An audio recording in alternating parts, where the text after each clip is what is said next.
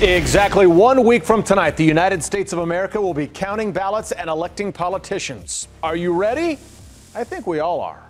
I just wanted to say how thrilled I am that the countdown started for voting day. It means that we get our TV back, that we get our mail back, that we get no more solicitations to our front doors. I mean, it is fantastic. I can't wait. I know who I'm voting for, and that's all I care about. If these candidates are guilty of even half as much as their opponents are accusing them of, every single one of them needs to be thrown in jail.